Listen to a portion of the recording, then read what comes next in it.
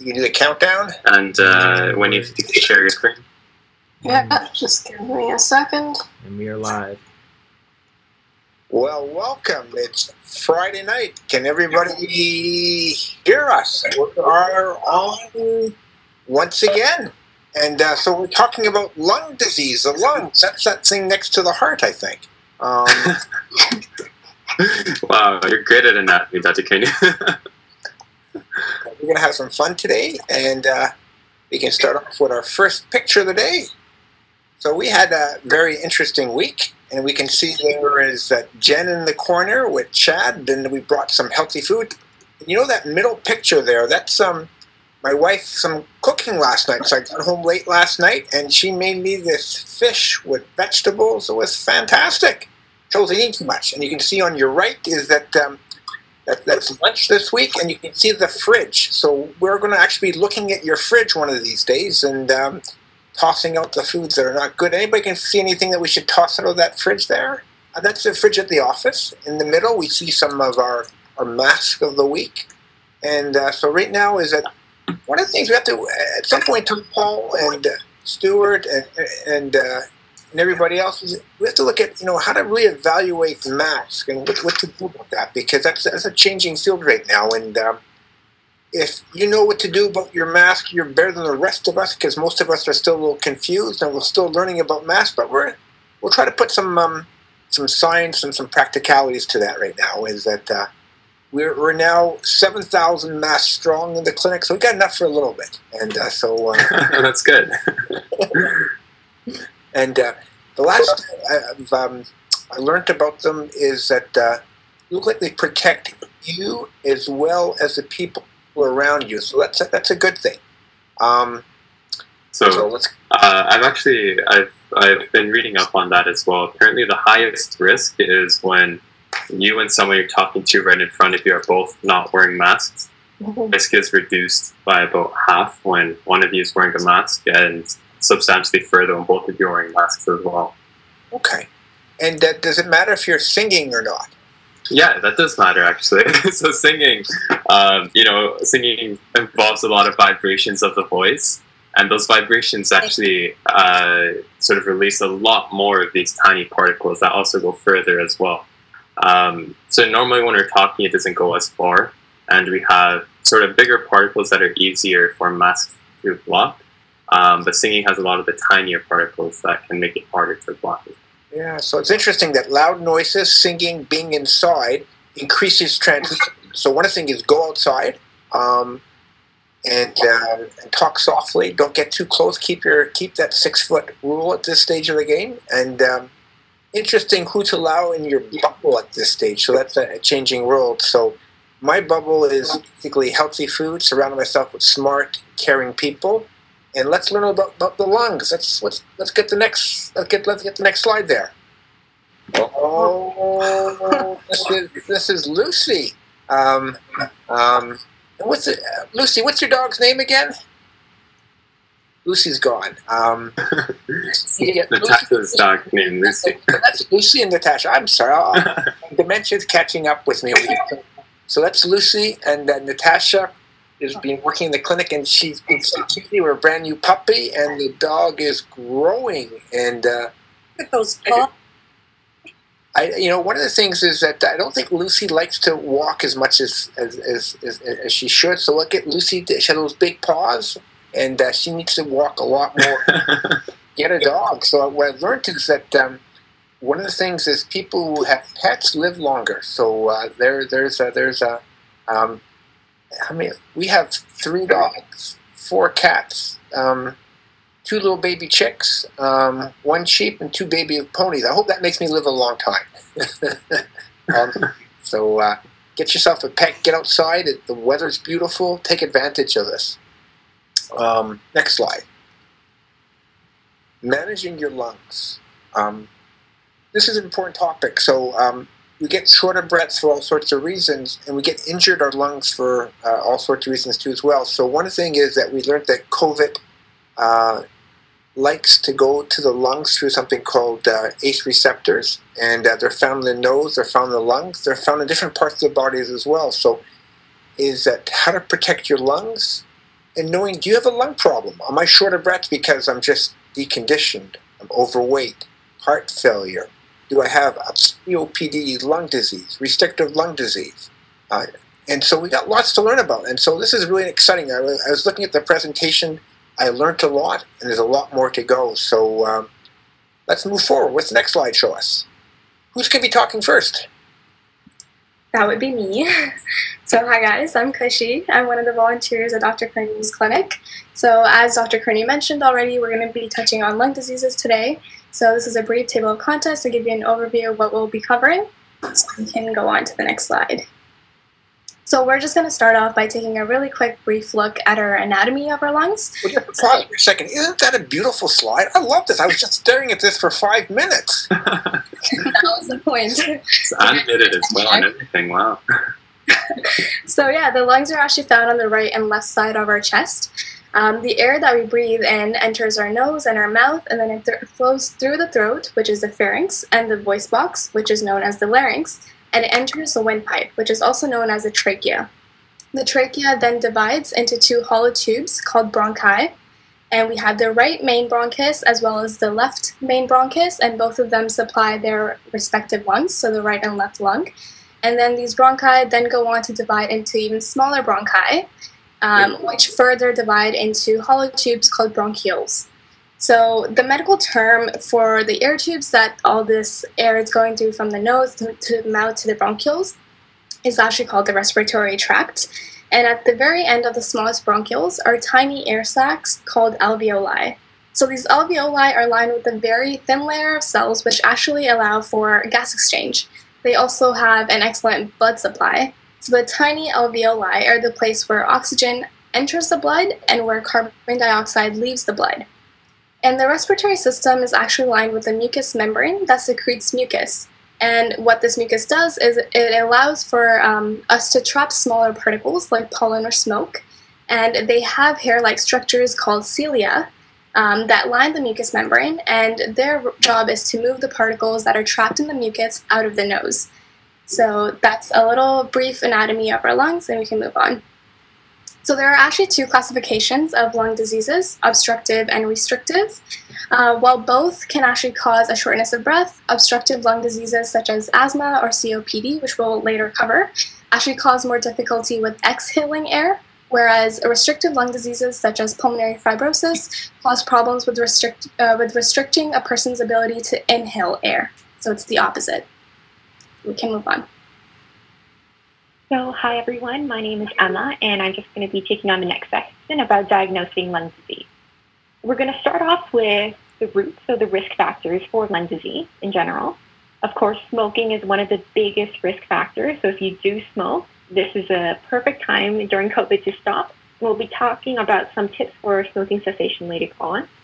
Some other risk factors include pollutants, so that could be occupational, where you work, as well as environmental, so just where you live maybe the quality of air um, is not super great. As well, if you did experience frequent childhood respiratory infections, you may be at risk for developing lung disease in the future.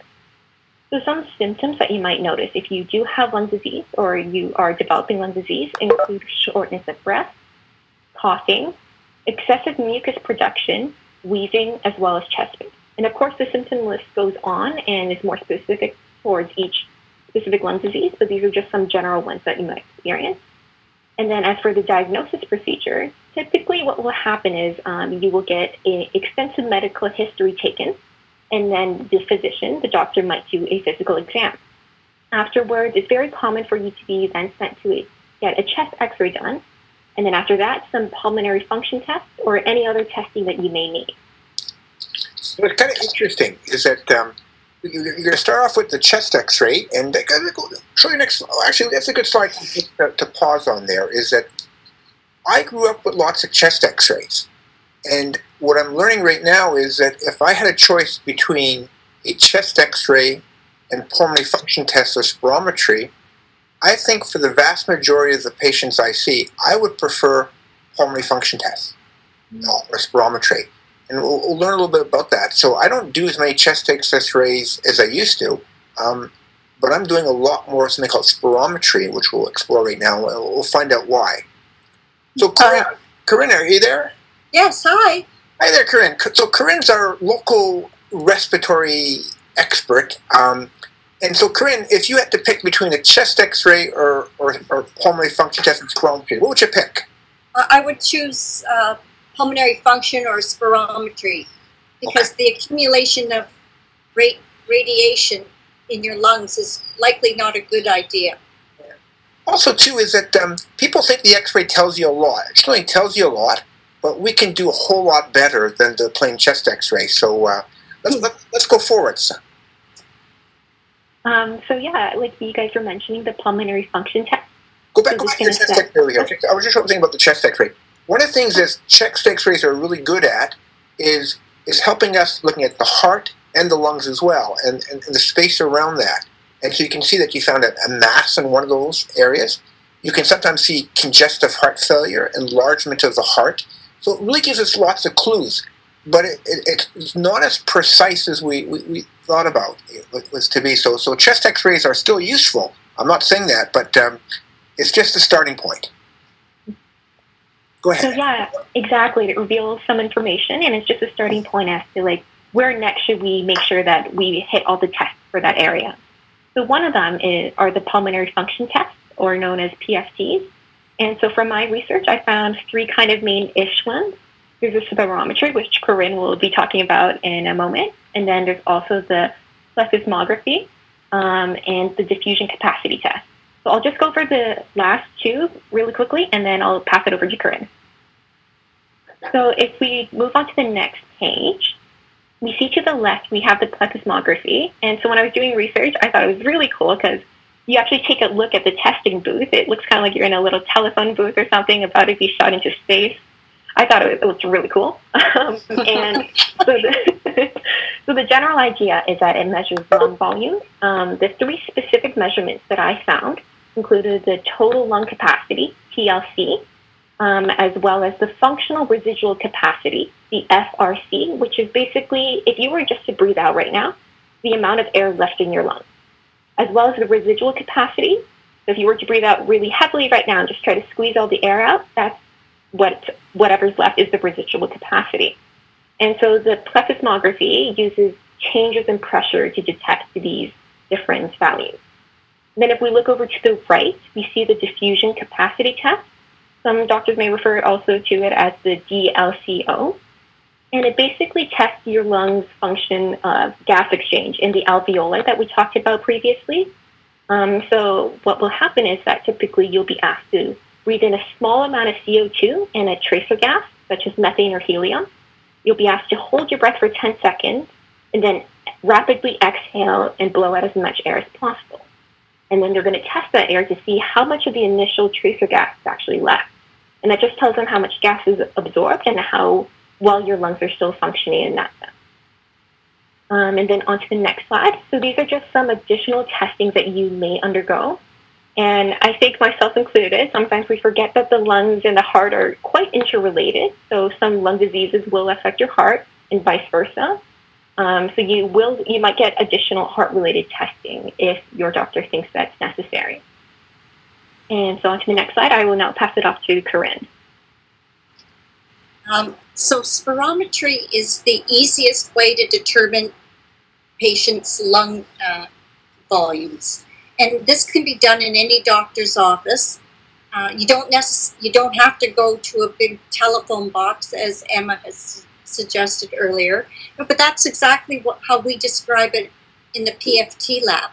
So the gold standard for COPD is uh, to to assess lung functions, and the total and what a spirometry is is a big deep breath in and an ex- total exhale volume of expelled air after the big inhalation. And that's how we measure um, lung volumes. So here's a, a lad doing a big deep breath in, big, big, big, big, big, big, big, and blast out as hard and as fast as possible for as long as possible. These are some types of spirometry devices. Um, when I first became a respiratory therapist, um, when your grandparents were born, uh, we had huge devices, like, and they were portable at that time. and they were, but they were large. Now we have everything from from a bellows device, which is just means there's um, an artificial lung where the air is blowing out. We have electronic desktop one uh, types, and I think Dr. Curnew has one of uh, one similar to this, and then a handheld device which can be picked up now. I guess I've heard on Amazon, and you can test your lungs anytime. It's small in, and inexpensive. That's okay. Sorry, who's who's in control? That's me. Sorry, I wasn't quite sure when to move on. That's okay, Whitty. Uh, so these are just types. I don't want to spend too much time on them, but you can see now that these devices measure everything the same as the device in the telephone booth, except we don't have the comparison of the uh, pressure inside the lung compared to the pressure in the booth. It's quite interesting how this technology is changing. Um, um, I'm quite amazed that uh, many, not too many doctors do spirometry in their office at this stage, and it because it, it well, it, it's one sense it's easy to do. It's hard to learn how to do it well and properly. And now these handheld devices is that um, you know at one time we just measured blood pressure in the doctor's office. Now we measure blood pressure at home, and I'm thinking for more and more of us right now uh, that getting your own spirometry at home if you have lung problems is probably a good idea. We're going to talk about that a little bit more as time goes on. Um, at one time, these machines were thousands of dollars. Now they're talking about hundreds of dollars, and uh, we'll, we'll, we'll, we'll, we're, we're getting down to is that you can probably get a spirometry apparatus for yourself between 100 to 200 dollars at this stage. Um, and and that's you know that, that can be quite valuable if you have lung problems. Uh, we heard before is that you know quality of your, the air, um, and um, and to make the diagnosis of COPD, obstructive lung disease, it's not a chest X-ray; it's spirometry equipment, and managing your health is kind of important as well. So um, one of the big things I learned about spirometry, and I think the best part, Paul, what's my favorite part about spirometry machines? That would be the lung age. lung gauge. So you know, is that um, today I, I, saw someone today who was you know 50 years of age. I should smoke a little bit. Her lung age was over 80. Um, so that's important to find that out. So we're going to find that out more for as time goes on. Go ahead, there, Corinne. So I, I like I like using lung age as well. It's particularly to show a patient who feels that they don't have lung disease. Oh, I only smoke on the weekends, or you know, I only go to campfires um, on the weekends. Lung age is an it uses an algorithm, but but it it it lights that that light bulb in their head, and and when they see that lung age, they're they're mortified. Okay. And lung age can also just be by compression of your chest as well. So you're you know, you, you, you weigh 50 extra pounds, that compresses your, your lungs and it reduces your lung age. So we got lots to learn about. So go yeah. ahead there, Okay. So with spirometry, we can determine, we can definitely um, diagnose asthma and COPD. Um, we can confirm any presence of airway obstruction even if the patient has no symptoms. And we're able we're also able to assess the severity of the airway obstruction. Um, and, and then it's up to Dr. Curnew to assess the prognosis. And, and the respiratory therapist will continue to monitor the patient's um, disease progression. So the types of patterns are, uh, as was explained earlier, a normal pattern or restrictive, obstructive, or mixed obstructive restrictive. So I know those, these are terms that we're bantering about, but normal would be somebody like Paul who gets up there, does the test, yay! And even me, because I've never smoked, um, but Paul would be a perfect example of a young man's lungs.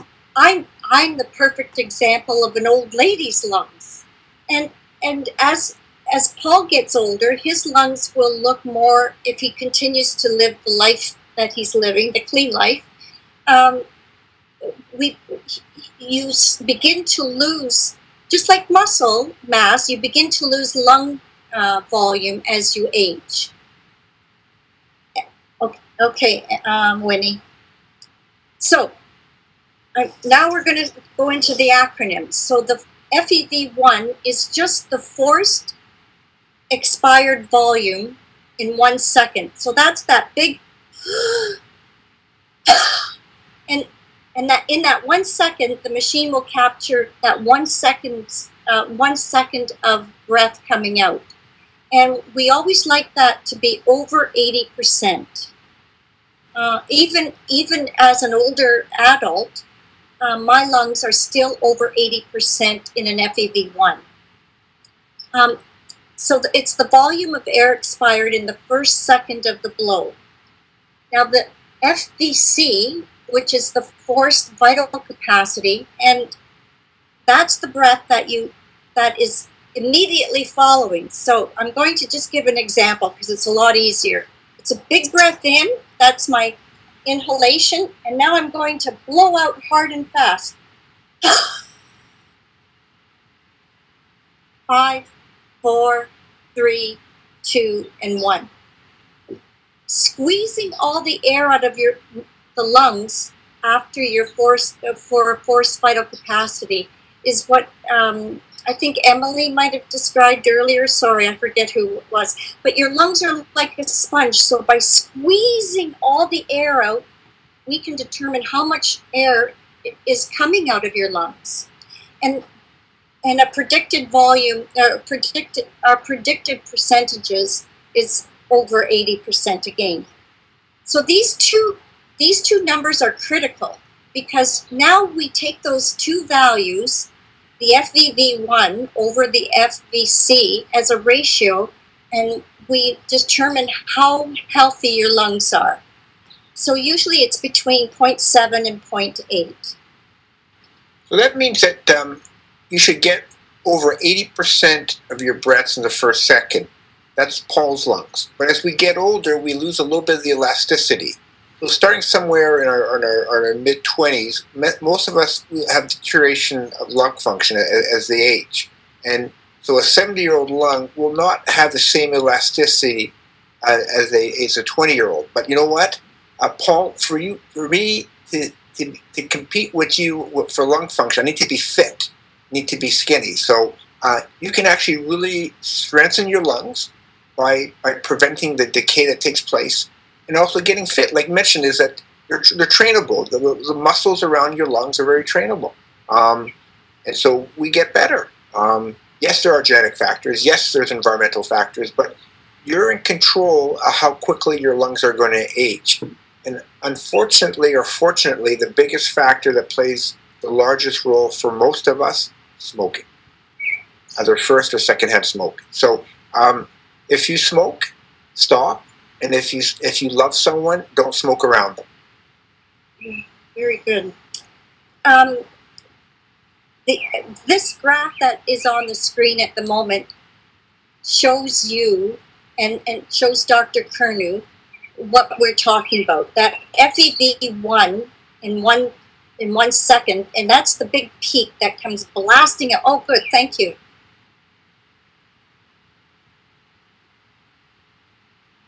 Thanks. And now there, as I said before, there's always like your lung has a, it's like, a, like a sponge. It's still squeezing air out, and there we go up that curve, and we're continuing, continuing, continuing, squeezing, squeezing, and here is the plateau. And that's how much air is in your lungs after you do, after you do a forced blow. So uh, that that's pretty. Did, do you want to re- talk to this at all? Uh, so I like this slide because it shows, it compares the difference. So the red is the normal, and now somebody who, who has a, a, a injured lungs. And that's um, usually smoking induced. The most common cause of this, or 80% of this obstructive lung disease, is smoking. And, and Dr. Curnew's right. Uh, so you can see the person who blew out on the white curve right from the beginning, at the beginning. Where's your little arrow, Winnie? Go down. Yep. to the left. Well, yes. So now that person is pushing out the air as hard and as fast as they can, but you can compare it with the red one, and it's nowhere near the nice peak. There's obstruction. There's um, clogging in the tubing that's not allowing the air to escape as easily. And as the patient, as the person continues to blow, you can see how much of a struggle it is to get the air out. So that that's a very um, uh, good graph of obstructive lung disease. And the bottom the bottom um, axis is the, the time. And so you can see after six seconds, most people after four seconds with obstructive lung disease cannot get any more air out because all the little alveoli, all the little airways in the lungs are closing down now. Okay, okay. so um, this is another fabulous slide. Uh, on this slide, you can see we talked about obstructive lung disease. I'm going to um, slow induce long time full. So the white, the, we're talking about obstructive lung disease on this, on the far left. Yes. After somebody, so the first the first line, the bottom line is without medication, and sometimes after a pa- we we see this graph, we'll give the patient some Ventolin, a, a short-acting beta agonist, wait 10 to 15 minutes and repeat the test. And here we have some improvement. So we can see that there's some, it, it's, mod, it's very modest, but there is some improvement. And this is a typical pattern for somebody who was a smoker, is a smoker. It's a typical obstructive pattern. The, the middle graph is the restrictive graph. And you, as you can see there, that patient isn't having trouble getting the air out.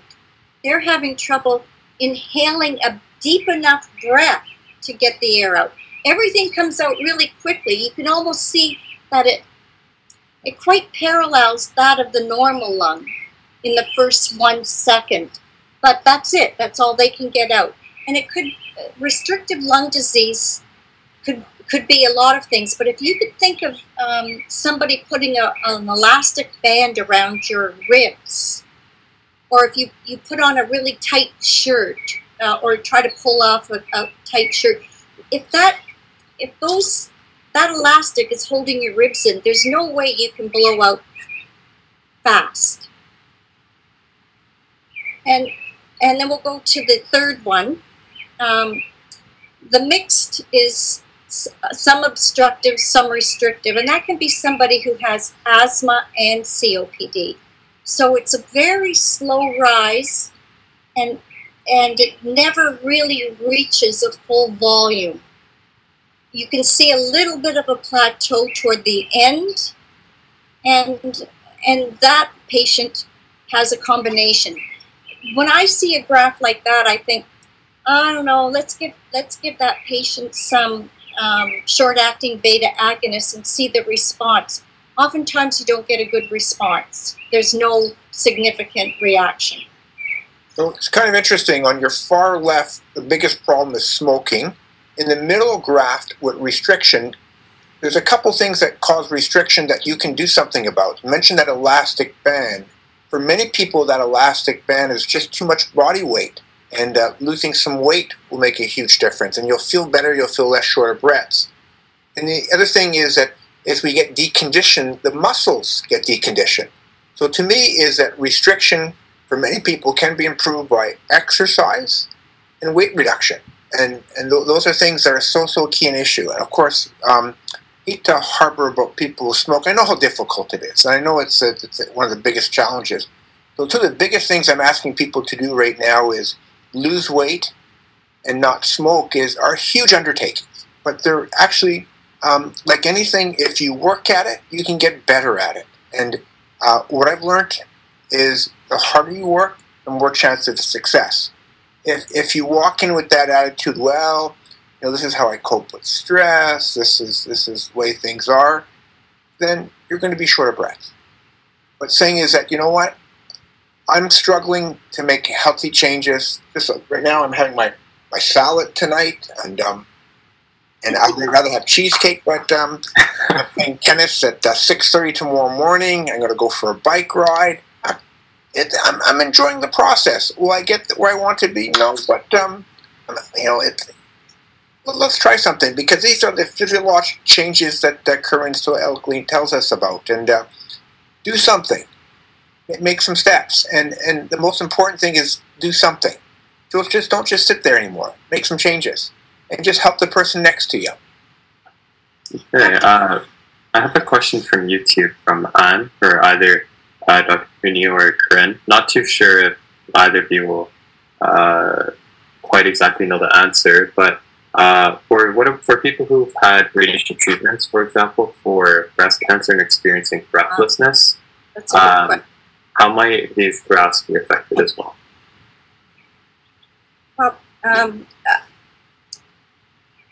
once you, if you if you're treated with chemotherapy, and then sometimes people with um, breast cancer after chemotherapy they have radiation.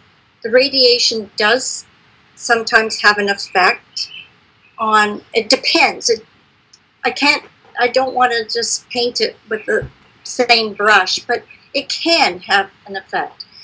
Um, if if a tumor in the lungs for example is by the diaphragm which which and if the belly is is this uh, large you know if you're overweight and your belly is pushing up against um, the diaphragm, which push, which, which squeezes your lungs. You think of a pregnant lady, and when she when she's healthy and and pregnancy is healthy, but as she reaches her last trimester, now all the weight of the baby is pushing up against her lungs. She becomes short of breath.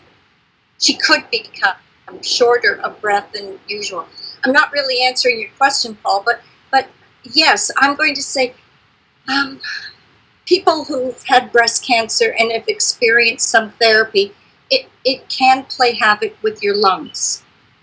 Well, I'm going to make it a little bit, uh, the way I look at it is, so I, breast cancer, so some of the things, it, it is complicated. One of the things is after breast cancer, you might have been depressed, not exercising, so you might have been deconditioned. Uh, number two is you could have have a weight problem that, that that's worsened. Some of the therapies for breast cancer can affect the heart and weaken the heart muscle. Um, also, the cancer can actually spread sometimes to the, the, lungs, and so we have to find that, that source.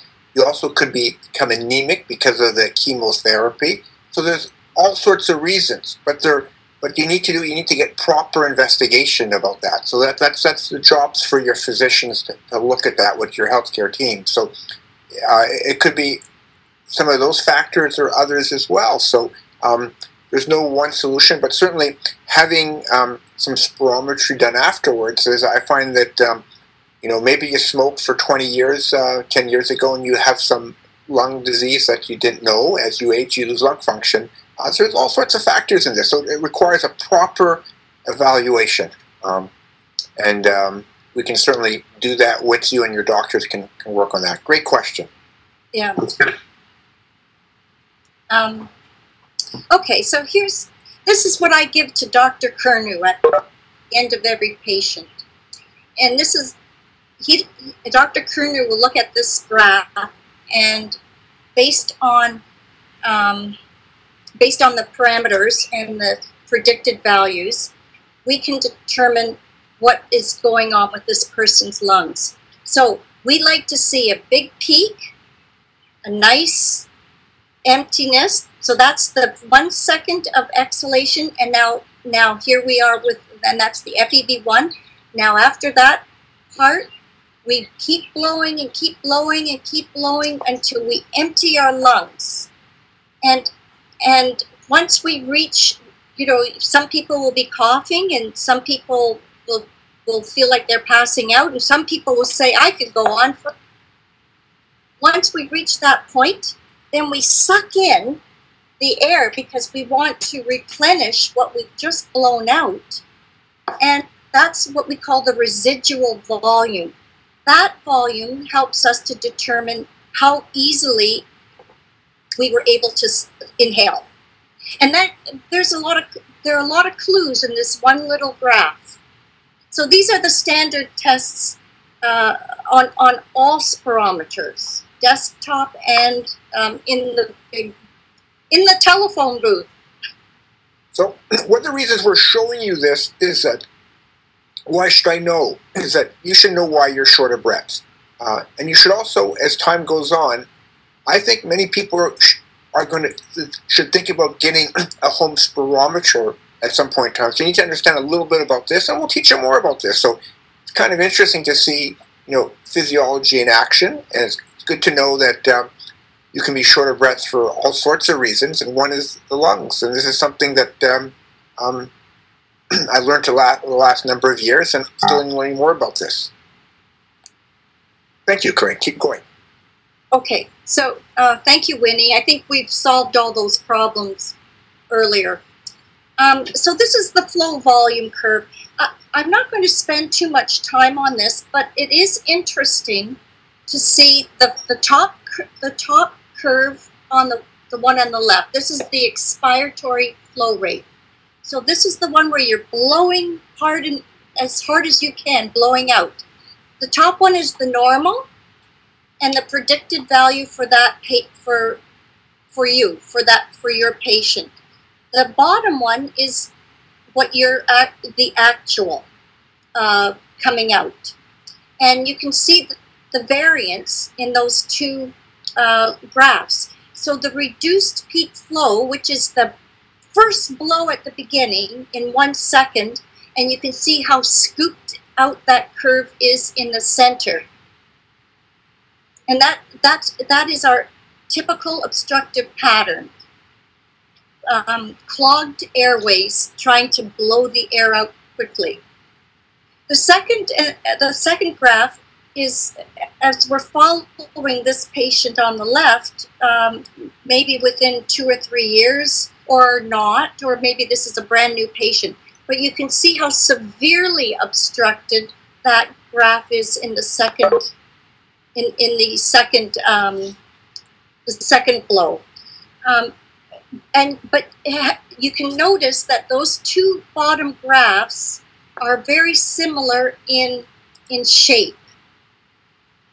One is just more obstructive, more severely obstructive than um, the other. So I'm thinking of that first graph. Someone's been smoking for a pack of pack of cigarettes for about you know 15 years, and that's what your lungs might look like. And the next person is smoking two packs or pack and a half for about 10, 15 years. So we call something called pack year history. Um, this is what happens if you smoke a pack of cigarettes for, for 20 years or so for, for many individuals. That's scary. And, and it is. And some, you know, unfortunately, I've seen the middle pattern in a young person, somebody under 30 years old. And it's a heartbreak because you know that that muscle, that lung um, will never be recovered. So now that now we have to manage that person for the rest of their lives. How to condition their lungs, how to manage their disease. Yeah, it's sad is because that um, my favorite um, smoking character with Spock on Star Trek, Leonard Nimoy. He smoked a, a pack a day for about 30 years, and uh, so that didn't bother me.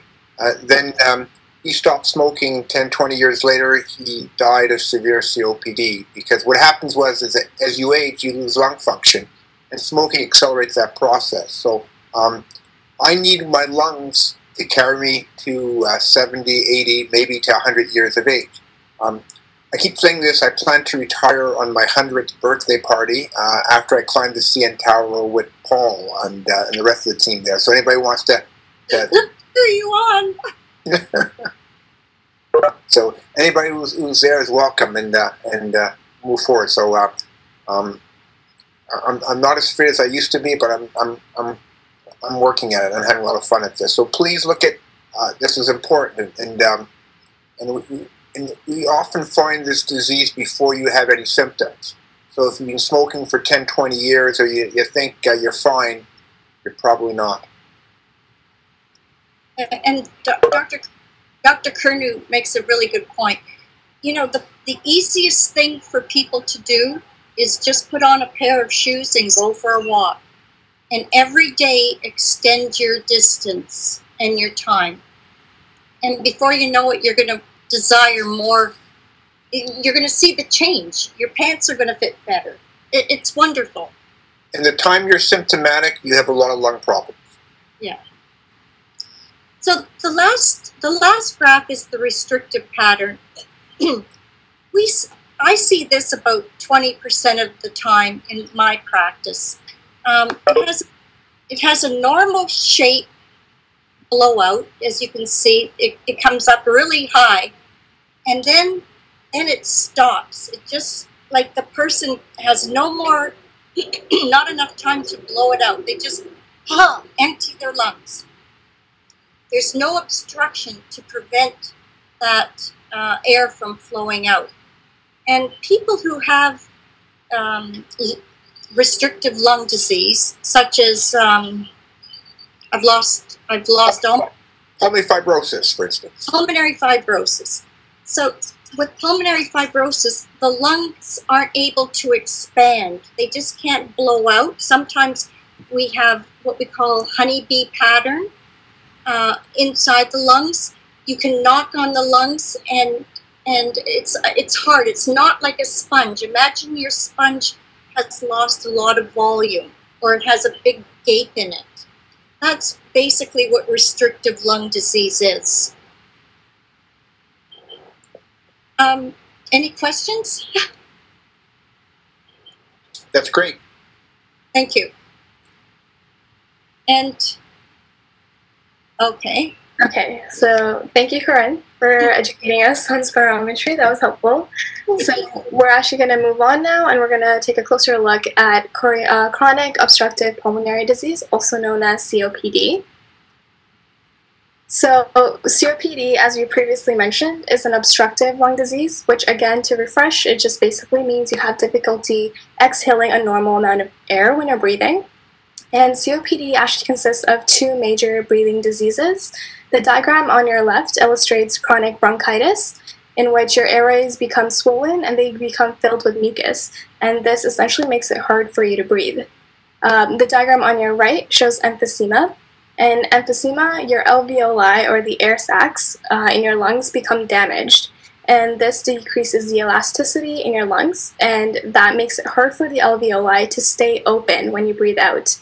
Um, this essentially means that there's a risk of your air sacs collapsing in on themselves and not expanding back out, which is why it's hard to breathe.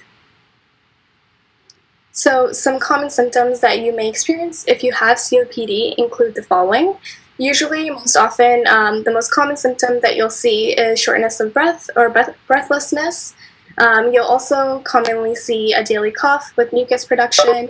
Um, you'll also be feeling very tired or fatigued from the extra work that you're putting in to breathe. Um, people with COPD are also more likely to catch colds like the flu or pneumonia, and oftentimes these um, respiratory infections make breathing even more difficult, could further damage your lung tissue. You may also find yourself losing some weight without even trying.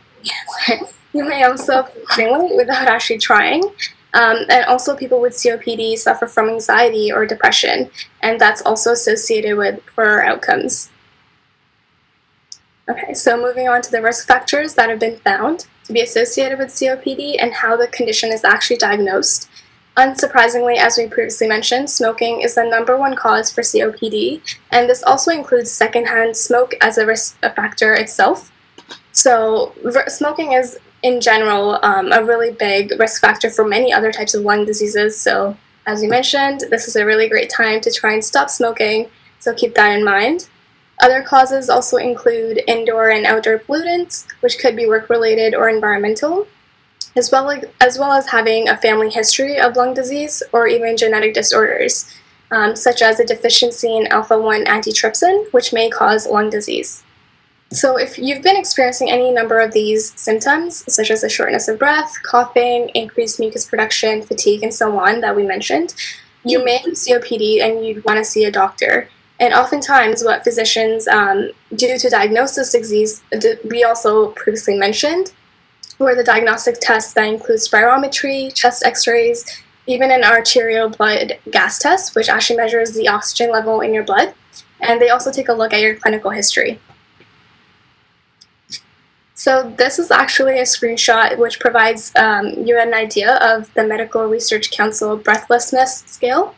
And this offers um, a really good way for you to evaluate if you have a shortness of breath and if it's getting better or worse. It essentially consists of five statements that describe almost the entire range of respiratory disability, and it can be self administered or it could be administered by an interviewer with the statements framed as questions.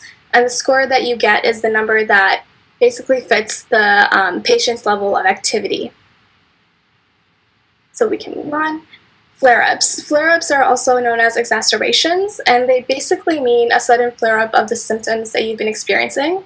So, a sudden increase in shortness of breath or a sudden increase in feeling fatigue and tired. So these are really important signs to be aware of, and if you do experience any flare-ups, you really want to get the help you need.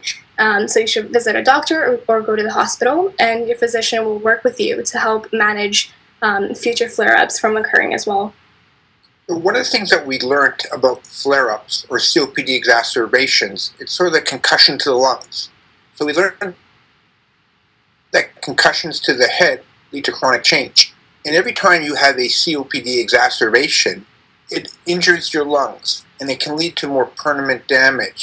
So, what you want to try to do is limit the amount of flare ups that you have, um, and also um, be aware of that every time you get these flare ups, your lungs won't bounce back to the same degree. So, I think a concussion to the head, um, banging of the head, I think of COPD exacerbations and concussions to the lungs. So, we try very hard to avoid them. Uh, some are infectious, mostly from viruses. Some are bacterial, uh, but many are just will flare up because you, you, showed in your picture you have the bronchi that are thickened, full of mucus, and and uh, thickened, and the airways are, are being are being destroyed. Um, so this is a progressive process for many, and so please, please, please think about how to protect your lungs, keep your lungs healthy, uh, eliminate the, the pollutants and the, the smoking, um, and if you can't stop smoking, reduce. Go ahead, Rishi. So this next image is a screenshot of the COPD assessment tool. And this is actually used to help, help your doctor evaluate the impact of COPD on your daily activities. Uh, and if you go on to the next slide, you'll see that it provides you with a CAT score. Um, and you can use this with the compare it to the gu- guide that they provide you with, and it helps you understand a really good broad overview of the impact that COPD is having on your life. And in the previous slide, there's a link that you can access to get a copy of the COPD assessment test if you'd like. So we can move on. Yeah, everything will be provided underneath the video, or you can feel free to take a screenshot. But I think all this is publicly available on the internet, so no worries if you aren't able to capture it right now. And don't forget, this is recorded. You can go back and look. What I do is I go back and look at them. I fast forward certain parts and rewind many parts. So um, the first part was for uh, was quite uh, brain hard. A lot of you know a lot of science there, but uh, it's important to realize is that um, uh, we learn how to understand science, interpret science, and, and you need to start thinking about how this affects you and how it affects people around you. So over here, um, we talk about the bronchodilator reversibility test, which is basically used to differentiate between um, COPD or asthma, which again are both um, obstructive lung diseases. So when given bronchodilators, it was found that people with asthma will see a dramatic increase in the spirometry results, whereas COPD, COPD patients don't see this dramatic increase. Um, and what's outlined on the slide are these steps that are actually taken to perform this test and the expected results and what those results imply.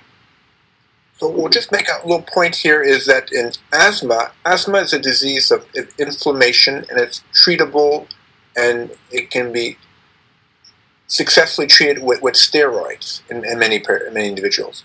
Where COPD is destruction, actually you're destroying your, your, your, your alveoli once you destroy your alveoli, you're not going to get that back.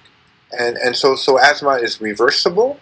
A COPD is a progressive illness. Now, there's always some degree of overlap. Some people have some degree of asthma and COPD, and uh, and that's for your doctors and you to work with. But uh, if you have bad COPD, it's not going to get better. Um, there will be flare-ups, but it, it's a it's a progressive process. So the best way to prevent yourself from end-stage lung disease, and it's a terrible way of dying, is that uh, not breathing, not being able to put your clothes on. Um, is a sad situation. So the best way to treat is prevention, and it's very preventable. All right, so I'm going to talk a little bit about the treatment plan. Um, and this is definitely something that if you do have COPD or any other lung diseases, that you do discuss this with your doctor and your healthcare team. And if you are a smoker, like we mentioned so many times, the best thing is to do is to quit smoking. So, what's that, sorry? I'm saying if you can't quit, reduce. So, you know, every time you smoke, you will lose five minutes of life. I'll repeat that. Every cigarette, you will lose five minutes of life. A smoker has a 60% chance of dying from their tobacco. A smoker has a 60% chance of dying from tobacco. If a car dealership would sell you a car that would kill 60% of its drivers, they'd be out of business. So, you know the facts. I know how hard it is.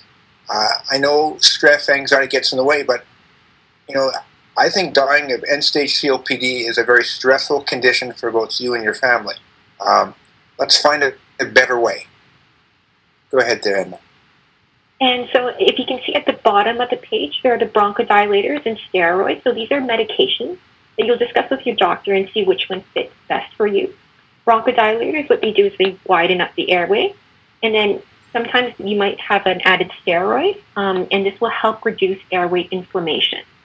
And then, of course, we talked about, Dr. Curnew mentioned exacerbations earlier and how that's kind of like a concussion to your lungs. You really want to prevent them. And a good way to prevent them is actually just to get um, your flu shot. And so there are ton of, tons of places where flu shots are available. I believe Shoppers Drug Mart offers them quite often. And it's right downstairs from the clinic, so no excuses for not getting one. um, and it's just a really easy way, in my opinion, to just kind of prevent that flare up and that permanent damage that could incur from having a flare up. And so at the end of the day, unfortunately, there hasn't really been a easy cure for COPD. So what your health routine will do is try to prevent COPD from getting worse. And that it's a, it's a team effort from you as well as them. So they're going to focus on reducing symptoms, improve your exercise tolerance, improve your quality of life. So hopefully you won't experience as much breathlessness doing things that you like to do, um, as well as to prevent and treat exacerbations and just keep you alive. And so what you can do on that end is to make sure that you start having a healthy diet or continue having a healthy diet, as well as exercising as much as you are able to. Like Dr. Curnew mentioned, just losing 50 pounds or losing a, um, some weight could definitely help with your lungs and your ability to breathe properly. So the next section, I'm going to be talking a little bit about how to properly use your inhaler.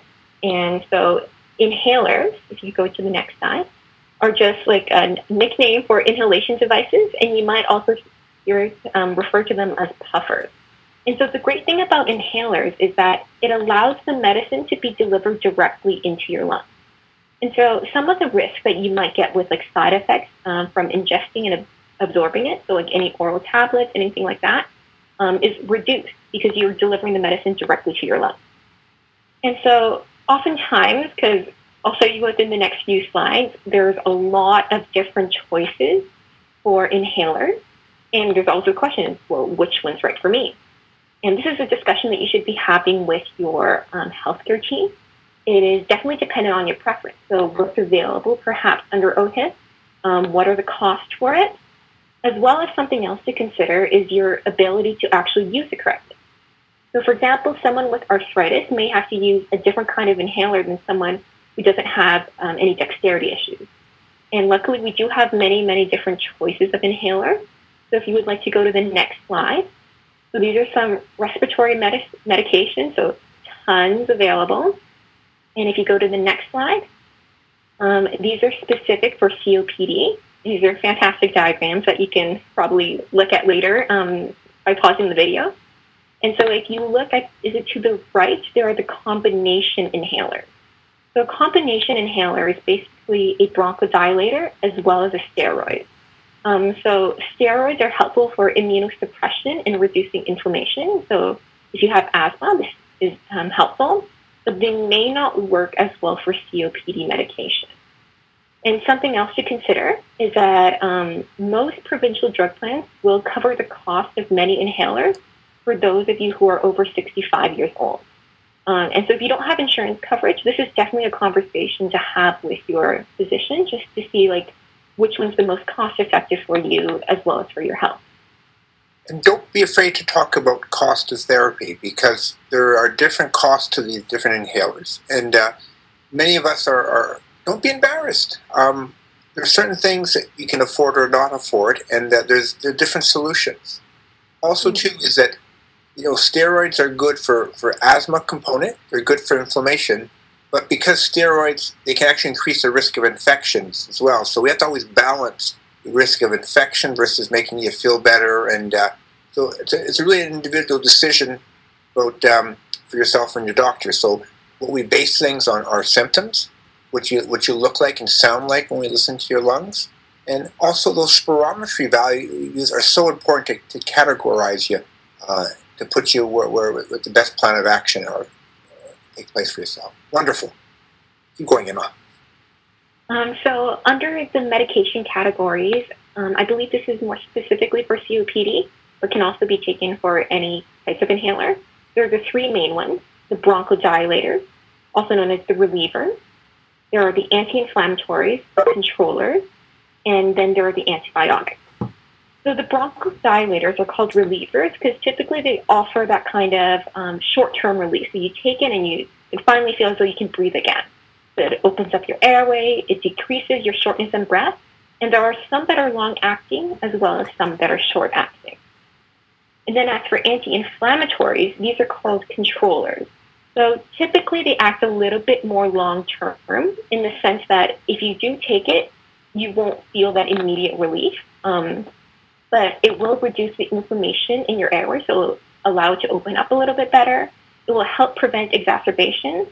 And this is really the one that if you are on an anti-inflammatory that you do take a daily or however many times you're supposed to, because this is it acts on a little bit more of a long-term basis and reduces the amount of mucus. And then lastly, um, there are antibiotics. And so these are typically done to treat lung infections. Sometimes they're also taken with oral steroids. Um, and I think they can also be used on a regular basis to reduce inflammation. Um, and you may also see it during when, if you have a flare up or an exacerbation, you may also see your doctor prescribe it to you. So, traditionally, for uh, antibiotics to work, they have to work for bacterial infection. So, those are people with changing patterns of your sputum. It goes from clear to thick yellow, thick green, uh, you start to de- develop a fever, you're increasing cough. If there's signs of infection going on, many times people want antibiotics, but if you have a viral illness, antibiotics aren't going to help you. So you and your, your physician need to work on that together to decide if that's going to be helpful to you. You can see there's, there's quite a few therapies for this.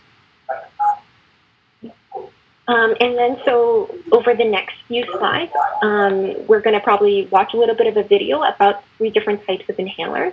As you see right across the top bar, there are the soft mist inhaler, the dry powder inhaler, as well as the meter dose inhaler.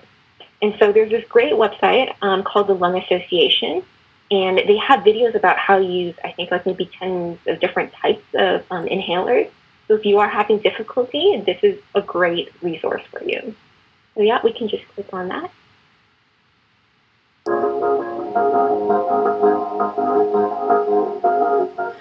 The Respimat device comes in two pieces, the inhaler and a medication cartridge. Before it is used the first time, it will need to be assembled and primed. With the cap closed, press the safety catch to remove the clear base of the inhaler. Push the narrow end of the cartridge into the inhaler as far as it will go. Place the inhaler upright on a firm surface and push firmly down on the inhaler to ensure the cartridge has gone all the way in. Put the clear base back into place. To prime the inhaler for use, hold the inhaler upright with the cap closed. Turn the base in the direction of the arrows until it clicks. Flip the cap open. Point the inhaler down and press the dose release button. Close the cap. Repeat this three more times.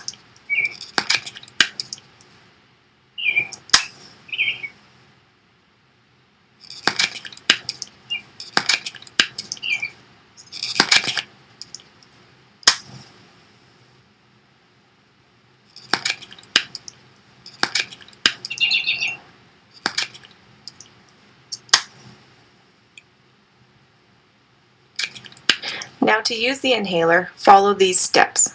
Hold the inhaler upright with the cap closed. Turn the clear base a half turn in the direction of the arrows until you hear a click. Flip the cap open.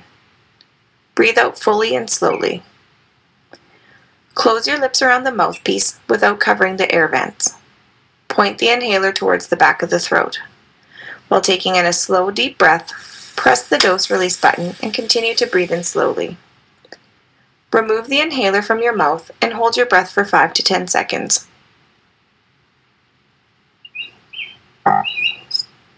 Breathe out. Close the cap, and if another dose is required, repeat these steps. So if we go to the next slide, there's a. Figuring out how to escape this. well, that wasn't it. So learning how to use um, inhalers takes a little bit takes a little bit of work, and something that we're all learning to do. And these videos can be helpful. And uh, one of the things is um, uh, Corinne's been very helpful at, at, helping us uh, use these, and your pharmacist can be helpful too as well. Go ahead. Uh, when you, sorry, when you, if you want to make it full screen again, it's just right beside the exit button. There's two to the left of that. Yeah, right there. And then hit that, and then you can hit center again. It is not working for some reason. That's So okay. I will try clicking exit and then re-entering it again. Yeah, so you're all learning how to use this technology, and that's good. And one of the things is that uh, we have Sonia um, teaching us all on technology. She has a series of videos. Um, she's also Friday night. She calls from Vancouver, and she called a number of patients today. So if you want to learn how to use technology better, um, I can't think of a better person than Sonia, and she she she'd help you. So uh, um, well, it's good to learn new technologies and stuff like that. Go ahead. Um, so some things to keep in mind that if you are using Respimat, there's a lot of great pros, um, and then so I'll just focus on the cons. Um, there is, as you saw in the actual video, there is the initial cartridge loading, and that did take some time with the three times um, letting the dosage out and whatnot, as well as the priming. So again, this is a conversation you would have with your healthcare provider. It's like, if I don't have the dexterity to do this, and I don't have someone near me to help me all the time, what what's another better option for me? And then if we move on to the next one, Turbuhaler is a type of dry powder inhaler, and we'll just watch the video now. I think I'm gonna leave it not full screen this time.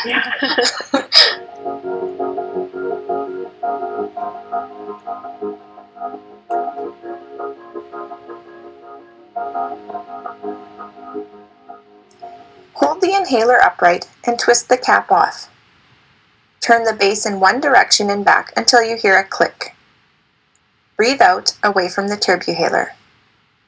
Seal your lips around the mouthpiece and breathe in quickly and deeply. Hold your breath for 5 to 10 seconds.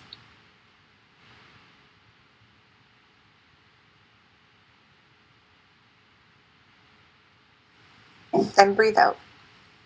If you need a second puff, repeat these steps. When you're finished, place the cap on, twist to close, and then rinse your mouth. So some pros and cons with Turbuhaler include that the cons include the double turn might be confusing as you see by the video. Um, and then it's also, I believe, a little more confusing to tell when it's actually empty. There's a little bit of priming necessary, and it is more sensitive to moisture compared to some of the other inhalers. And then lastly, there's the meter dose inhaler, and I think this is the one that I, I recognize immediately, so you can watch the video now.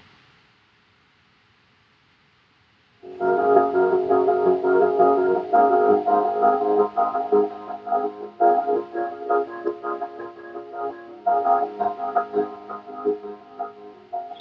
Remove the cap. Shake the inhaler. Breathe out. Seal your lips around the mouthpiece and start to breathe in slowly. Press your inhaler once and keep breathing in slow and deep. Remove the mouthpiece and hold your breath for 5 to 10 seconds. Breathe out. If another puff is required, wait at least 30 to 60 seconds and repeat all these steps. Replace the cap and then rinse your mouth with water. So some pros for this is definitely familiar. It is quite portable, as you can tell. It's like maybe about five, five, six inches. And then, however, some cons are that typically what you actually want to do is to also use a spacer or a holding chamber. So it's just like an extra attachment in front of the inhaler, between the inhaler and your face. And so what it does is that it actually increases your chances of getting more medicine into your lungs. Um, and it decreases the need for actuation and inhalation, so the coordination of ejecting the medicine and breathing in. Um, and it could also help with some dexterity issues. So if you do have arthritis or some um, dexterity issues, this might be a good fit for you. And of course, something that comes with use, um, repeated use, the spacers, also known as holding chambers, do need to be replaced and cleaned as per the manufacturer's um, instructions. So inhaler use technique, it's super, super important because if you don't have this technique down pat, that means the medicine isn't getting into your lungs, it isn't getting where it's supposed to be as effectively as it should be. So some questions to ask yourself if you're having any trouble with inhaler technique use and just to think about, I guess, as you progress. But have I actually ever seen how to use one? Um, so have I seen either like a therapist show me how to use one? Have I seen my pharmacist show me how to use one? And then a really good practice to get into is to show that person. So show your doctor, have, have they seen me have um, use one? And with that, they can correct you right away. It's like, oh, actually, it's better if you place your hand over here. It's better if you breathe in more quickly. So stuff like that.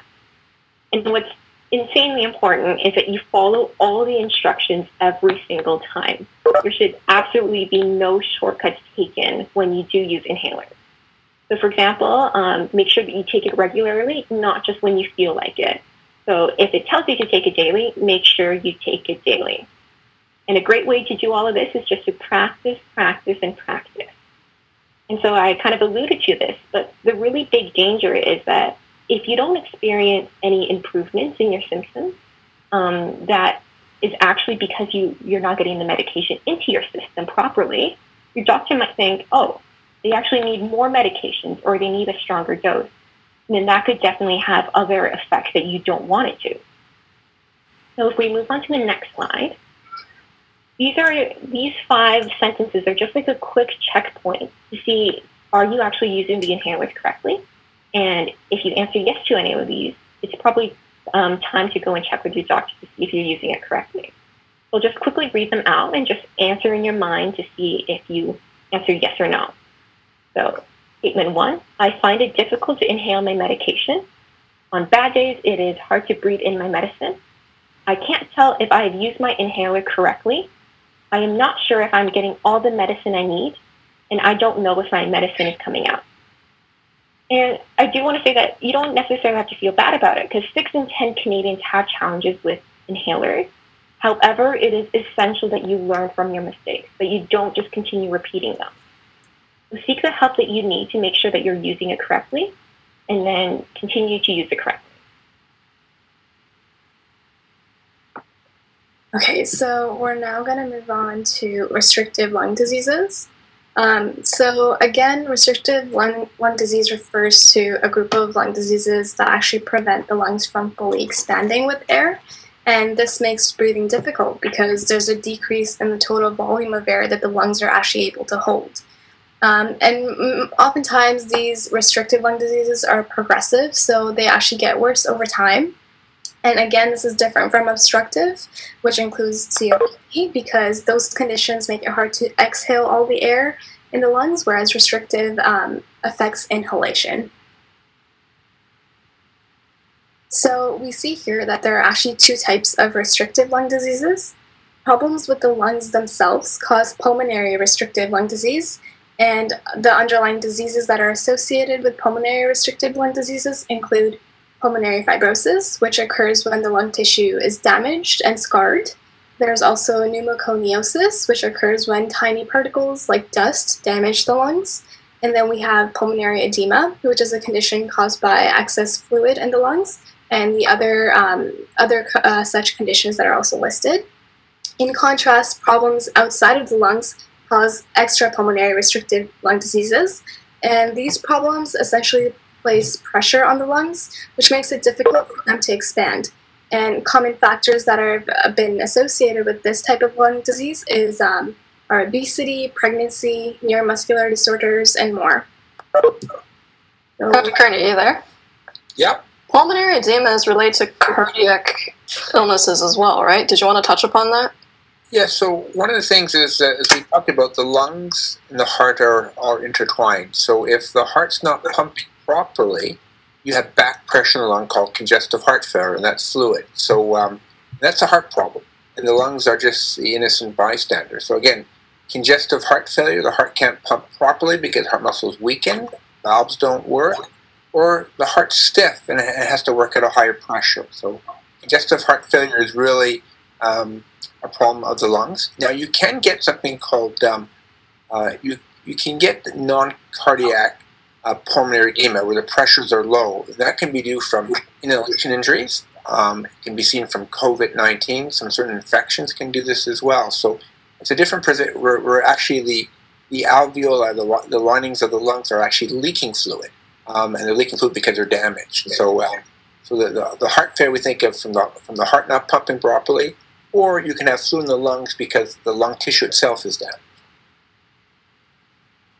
Okay. Great question. Go ahead there, Kushi. Yeah. So next we have a video here, and this is just going to provide you with a better understanding of pulmonary fibrosis. So we can take a look at that. I love this video. See these little coffee stirs? You ever tried to breathe through one? That's exactly what having pulmonary fibrosis is like. No matter how hard you try, you can't get enough air.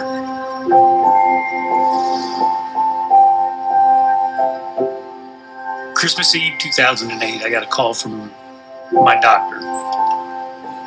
At work, I was a, a firefighter, and we had to do a breathing test every year.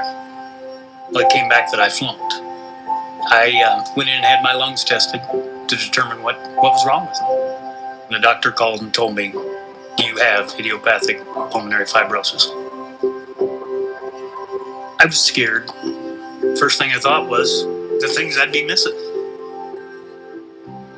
my wife Marlene, my kids, grandkids, everything. I knew I wanted to live my life to the fullest, the amount of time that I had left. So Marlene and I did a lot of research, found a doctor we wanted to go see, and made an appointment. Pulmonary fibrosis, in the literal sense, is scarring in the lung. When the soft tissue of the lung becomes scarred, it becomes much more difficult for oxygen to pass from the air sacs into the bloodstream. There are many causes of pulmonary fibrosis, and after a close evaluation, if no cause is found, we then refer to it as idiopathic pulmonary fibrosis or IPF. If you've been diagnosed with pulmonary fibrosis, there are steps you can take to make living with this disease easier. Oxygen therapy may be prescribed. Pulmonary rehabilitation will help keep you active and maintain your quality of life. You may be eligible for clinical trials. And for some patients, pulmonary lung transplantation is an option. If you've been diagnosed with idiopathic pulmonary fibrosis, while there is no cure for this disease, there are approved medications which help slow its progression. The most important thing you can do is speak with your physician about what treatment options are best for you.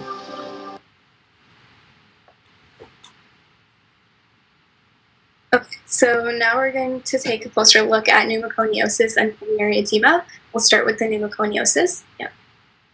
So pneumoconiosis actually refers to a group of occupational lung diseases that's caused by inhalation of organic or inorganic dust particles that cause lung damage. Um, the primary cause is usually work-related exposure, where dust particle particles are more likely to be encountered. And usually, the, the disease will manifest chronically, taking a decade or more to develop. And research actually indicates that smokers are obviously at an increased risk, so something to factor in. Um, and common symptoms include cough and dyspnea. And yeah, we'll watch the rest of the video in the meantime. Should I unmute it or leave it? Sure, No, it. it's just like background music. Oh, okay.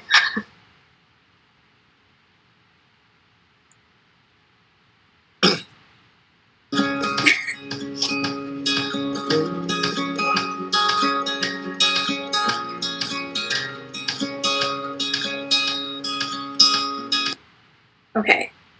So now we're going to take a look at pulmonary edema.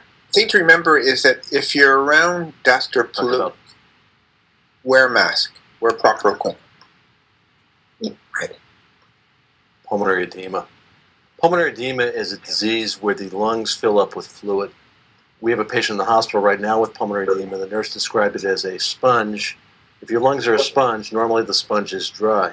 However, if that sponge is totally saturated with water, that's what the lungs are like with pulmonary edema. Symptoms of pulmonary edema would include extreme shortness of breath, often a cough with a clear sputum, um, and uh, when the physician uh, examines the patient, they would hear lots of crackling in the lungs. Sometimes the patient is aware of that crackling as part of their symptoms. Treatment of pulmonary edema uh, involves number one, figuring out what the underlying cause is, oftentimes a heart attack or a weakened heart. Number two would be uh, the administration of a drug like furosemide or Lasix, will cause the patient to urinate out a large amounts of fluid, which will clear the lungs of the fluid condition. Uh, if there is a heart attack, again, treating the underlying disease uh, would, would be very beneficial in the treatment of pulmonary edema. So, restrictive lung diseases have similar symptoms um, as we saw as to obstructive lung diseases, and those symptoms include shortness of breath, chronic cough, anxiety, fatigue, and chest pains, and more. Um, oftentimes, to diagnose these diseases, a doctor will normally perform pulmonary function tests, which we saw before, uh, or also known as spirometry tests. Um, and they use those to test your uh, total lung capacity, which is usually decreased in restrictive lung disease. Um, other tests may also be necessary for a full diagnosis and a full understanding um, to ensure the correct treatment plan is arranged.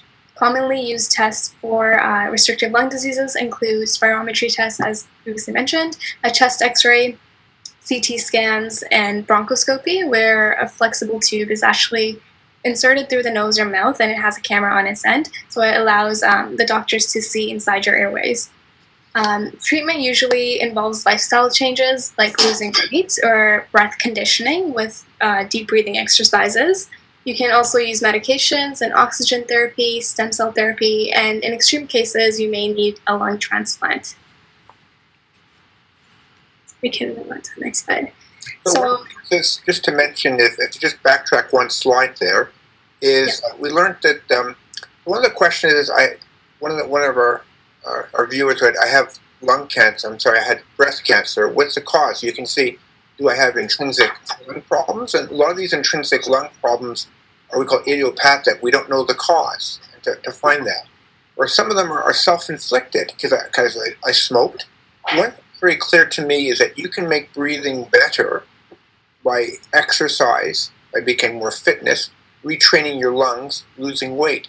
And so it's really quite a quite a fascination that you know.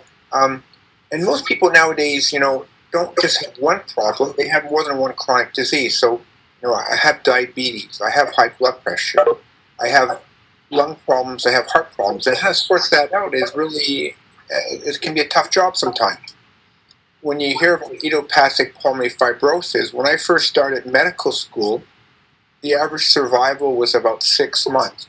That disease has changed quite a bit because we learned to pick it up earlier. There's multiple forms of this process, and uh, some are slow progressors, some are more rapidly progressive. And we do have medications that retard the rate of progressions. Making the right diagnosis is not so, so always easy, and you may require more than one doctor involved. So Yeah. when someone says, I'm short of breaths, we have lots to think about. Go ahead there. Um, um, let's move forward.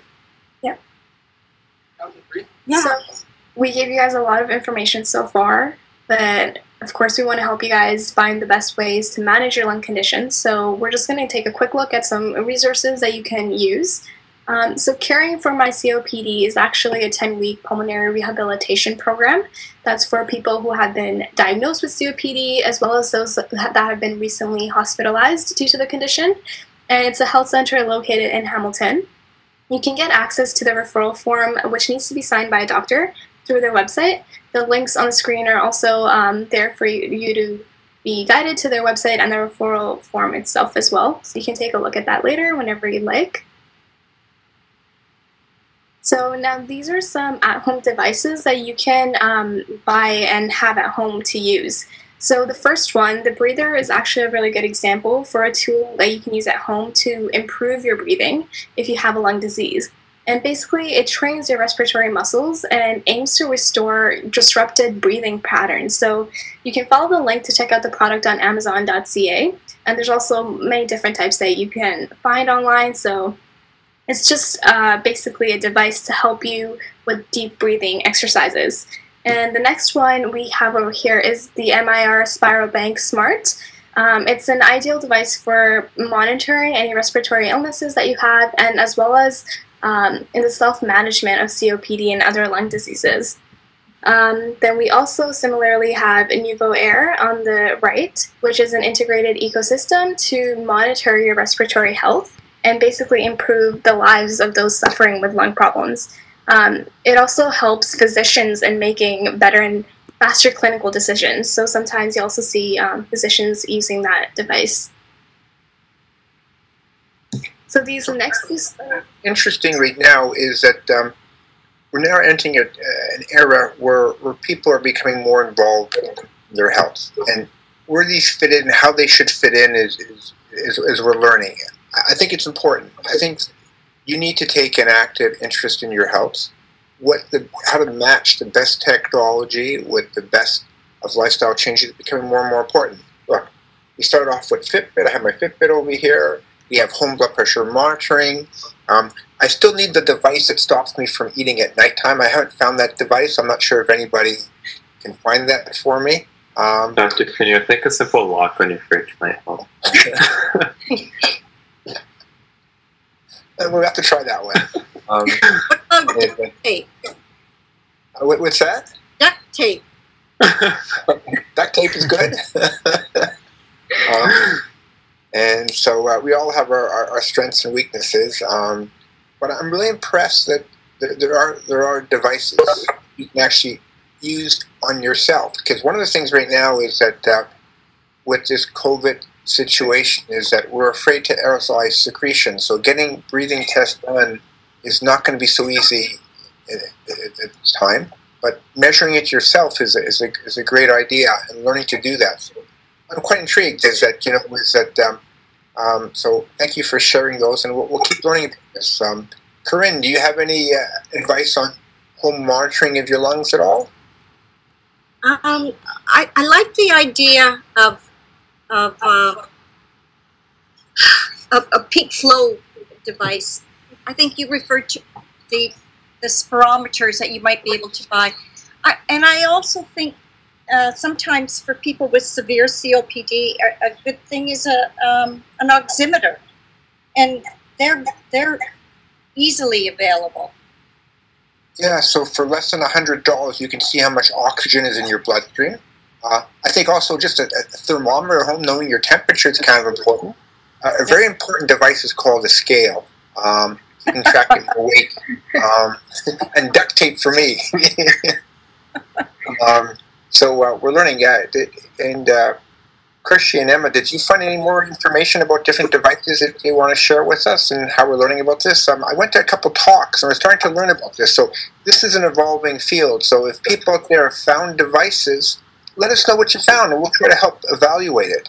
Um, and we'll try to help figure out whether it's the right device for you or not. So that's an area that's it's evolving right now. Um, I think it's a great area, and where it's going to go right now, I'm not sure. But I like looking at things on a personal level and how it affects me. Um, so that's wonderful. So uh, keep going. Thanks.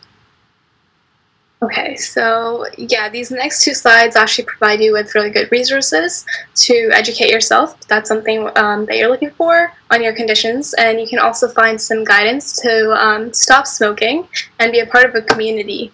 Um, so feel free to screenshot these, this information, or you can come back to it um, and go through the recording afterwards if that's something you're interested in. And we can move on to, we can go to the next slide. Okay, so in this video, we have um, physical therapist Bob Schrupp and Brad Heineck, who are going to demonstrate um, really good top three exercises that are really helpful for COPD or um, for anyone who has breathing difficulties in general. So they're going to demonstrate what those three exercises are, um, so how you can do them at home comfortably. Hi, I'm Bob Schrupp, physical therapist. Brad Heineck, physical therapist. Together, we're the most famous physical therapists on the internet, Brad. In our opinion, of course, Bob. Today we're going to talk about top three exercises that you can use for someone who has COPD, chronic obstructive pulmonary disease, or just basically these are breathing exercises you can use for anybody who's having some difficulty with breathing, or it, it's also a good one for relaxation. Sure. Believe it or not.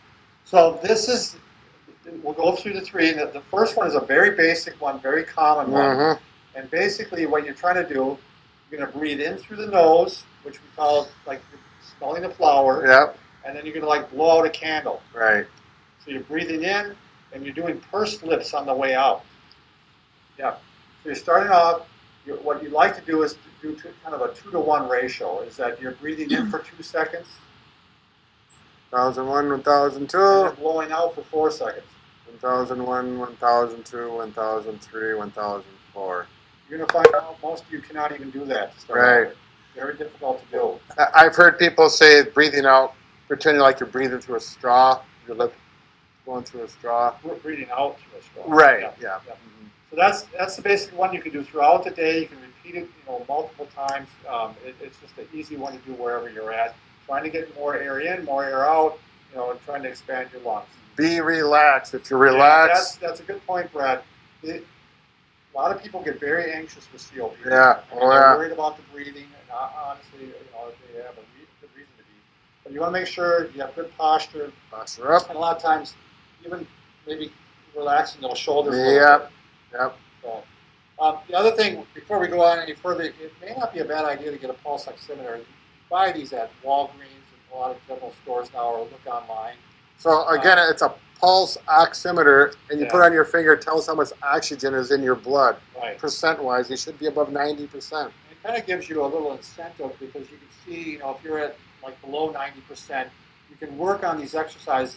I, I bet you over time you will see that they will improve. Oh, yeah. So you can see the improvement. So, Brad, do you want to show um, diaphragmatic breathing laying down? Sure. I'll grab a pillow for you. So diaphragmatic breathing, uh, again, just like it says, from the diaphragm. And remember, the diaphragm, if you're not familiar with it, is in the rib cage, and it separates the rib cage from your abdominal contents. And it's a broad muscle, like a pancake, all spread out. And you need to learn. If you're using your diaphragm, you're doing a lot more efficient breathing. Right. So you're gonna. The best way to learn diaphragmatic breathing is first laying down. It's just a Mhm. lot easier to do it. Now, in today's society, everyone's talking about having a flat stomach, and that's the worst thing you can think about for healthy breathing. I read a whole book on this once. They talked about this whole concept of social idea of, of the stomach. But you want to breathe out, you breathe in, and you have to be relaxed again. See how his belly expands when he breathes in. So the diaphragm is allowing the lungs to fill up by going down, and the the stomach has to come up for that. And then You want to get accustomed to doing this first laying down, and then you're going to translate it to sitting up. And this is the kind of breathing you want to do all the time. right, So you can put your hand on your belly even, and a lot of times it gives you the feedback. You want to see the chest moving very little when you do this. You might feel the lower ribs, but so you you, can do your in through the nose and out through the um, mouth yet, even with this type of sure. And it just goes against everything because Right. you know you're always thinking right, does it? Yeah, because you're going to get fat. Belly sticks out fat, but that's good for breathing. think take a breath. If you expand your no, you want to let the, the, the belly go out instead. Right. Well, the third one is the fun one, man. This Yeah. is the this is the fun way to improve your breathing. And what you want to do is get a little harmonica. This is my kid's harmonica. Sure. And it's a uh, Hohner. That's the most popular brand. Right? Wow. Well, I don't know about that, Bob, but whatever you say. All right, so, I mean, and, you know, there's a lot of uh, sites on the internet that'll have songs all laid out for Sure. you. And uh, what they usually do is they'll, you can create a note by blowing out, and create a note by blowing in. And so what those, on the, on the little songs, they'll have B for blowing, D for drawing in. Okay. So, um, I- you know, you can start off just, anybody can do this.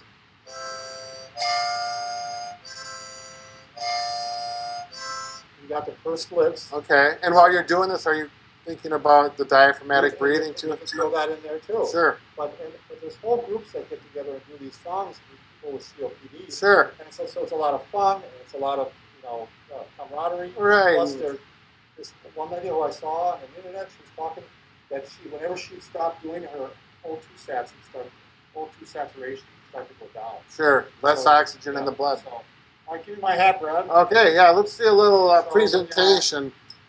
Uh, he is the entertainer.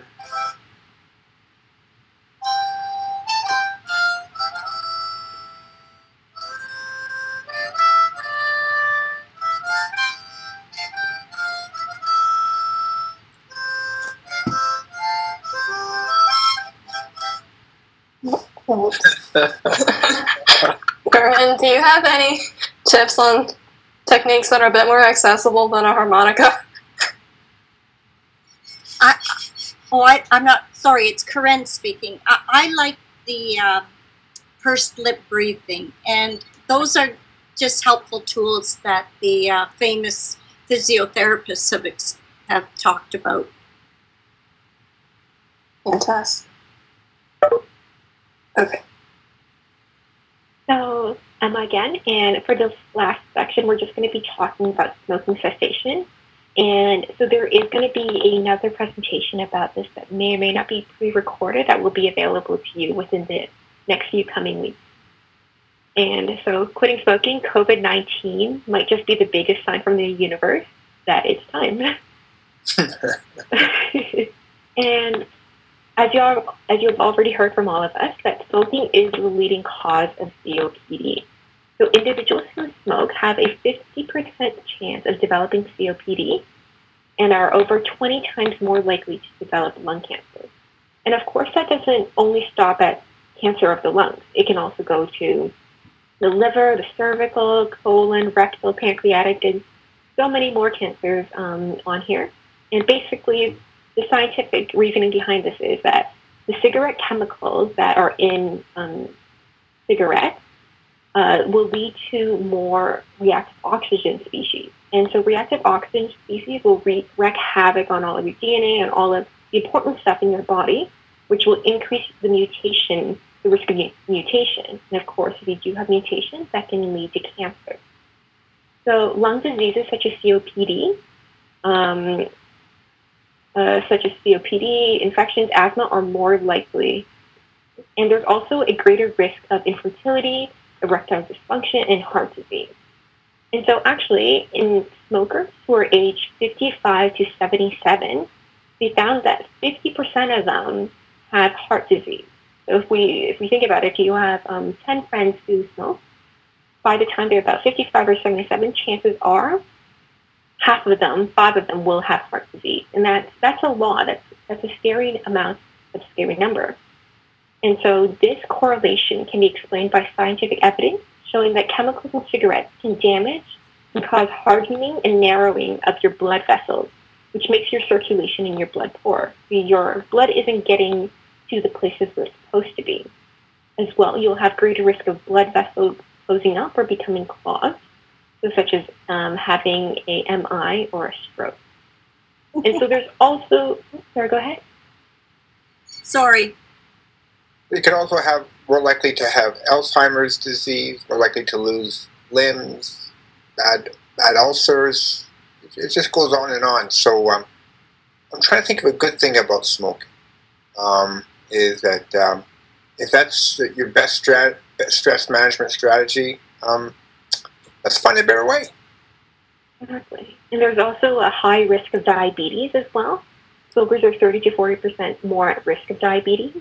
And of course, if you have a smoke, if you are a smoker and then you develop diabetes or you have it, your risk of developing then heart disease increases significantly. There's just so much damage going on. And so if even if you reduce smoking or cut it out completely, it would make a huge change on your health. So let's take a look. And I know it's not it's not an easy thing to stop. You know, it, it's a Mhm. terrible addictive problem. Um, you know, the smoking industry has spent uh, uh, you know 30 years um, developing substances that are they're addictive, um, they're deadly, they're harmful, they, they, they cause misery. I know that most of us are, are struggling with this, so I, I don't want to say it's, it's not. Uh, you know, don't don't go around feeling guilty, ashamed come around and say, listen, I'm still trying to duct tape at nighttime to stop eating. Uh, I'm still going to go around fighting. We all have our, you know, our, our, our devils and our, and our, and our things, but we, we, we can help, and uh, we want to work at this. But work at it. That's all I can ask. Exactly, and that's what we're the volunteers are here for too, to provide some of the resources that are available to you and help you in this very difficult journey for sure. So when we take a look at what happens when you actually stop smoking on the days, weeks, and the months and years level. So on the day, your risk for coronary artery disease and heart attack starts decreasing. So as soon as you put down your last cigarette or you decrease it, um, the decrease your amount you're smoking, your risk for heart attacks and all of the diseases decrease. And then, however, at around the three day mark, that's when there's no more nicotine left in your body. So that's when you will be experiencing a lot more withdrawal symptoms.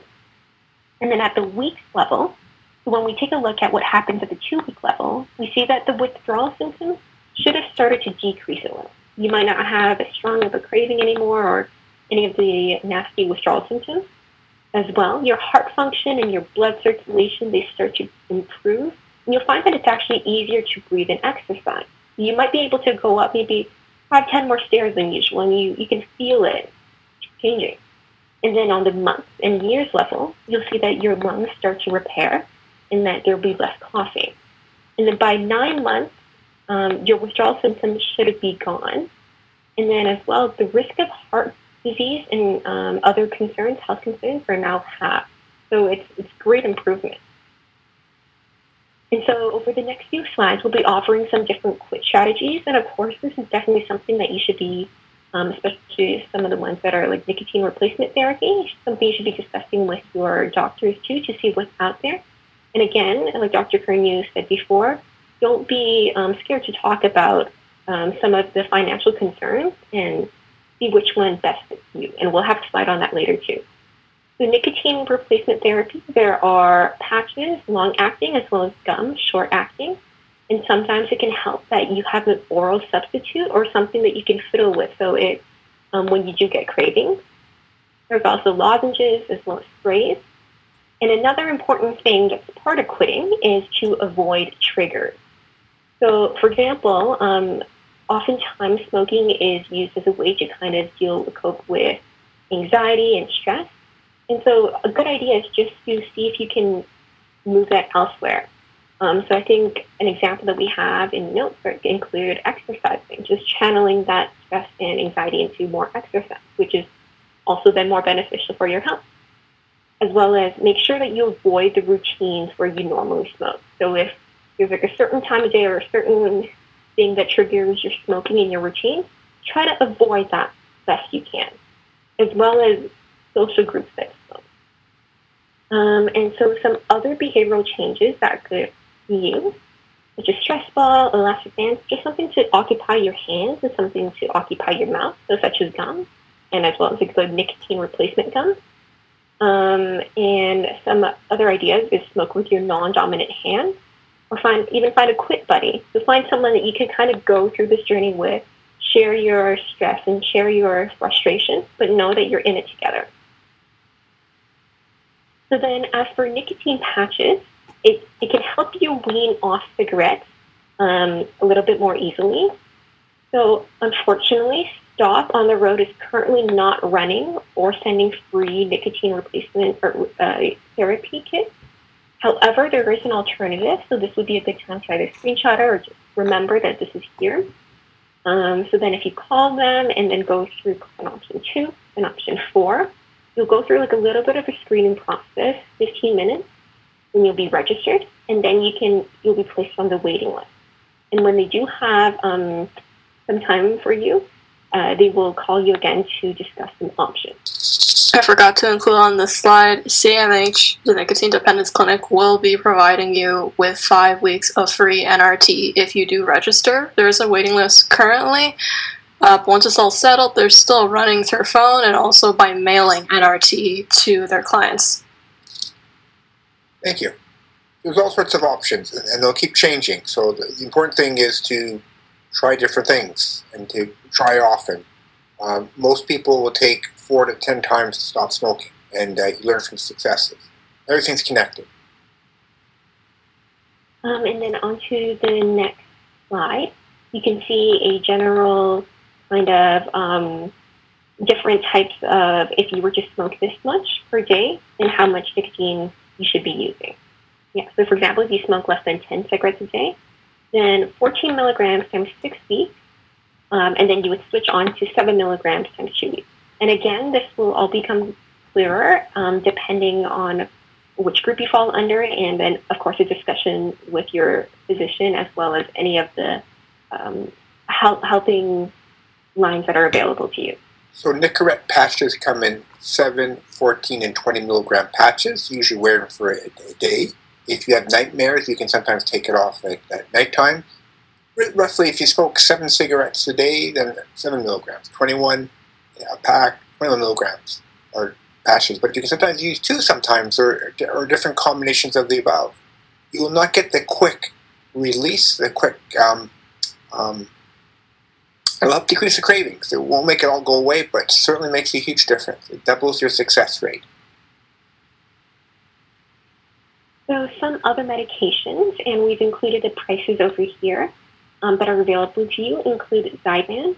So this is also a good antidepressant. So if you do have depression, this might be a good choice for you.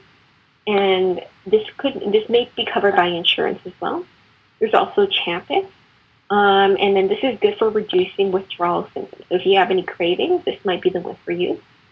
And so if you see at the very bottom that line, it says Ontario Drug Benefit Program can reimburse treatment for either of these medications for a maximum of 12 weeks each year.